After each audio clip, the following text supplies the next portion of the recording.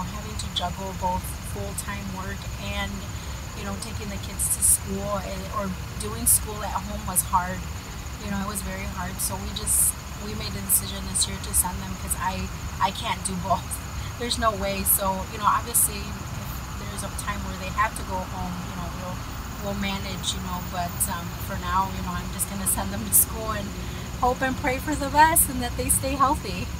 So just just bringing them to school, trying to get them to be normal and do normal things with friends and having that social skills. I think it's very important for them, you know, and just knowing that we we stay healthy and we wash our hands and you know we social distance when we need to.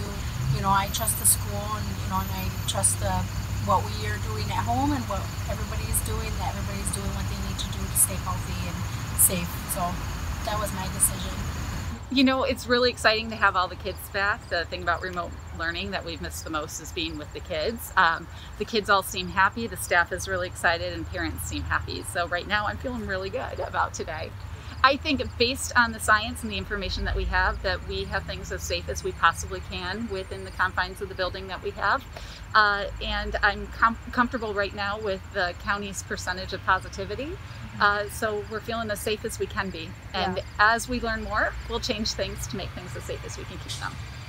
I believe that kids are more resilient than adults and they adjust a lot easier than we do. And what I saw at open house is that every kid who came came with a mask on, didn't argue about it, was okay with it. And we have tried to make sure that we've built in breaks like uh, when they go outside for recess where they can take their masks off and um, we're going to make sure that they drink water throughout the day and get a little bit of chance to remove the mask for um, drinking and then when they eat as well obviously they're going to have to have their mask off. We also know that there are some risks and uh, we're aware of that uh, but we're really excited to be in person with all of our students so we're hoping to keep them here as long as possible.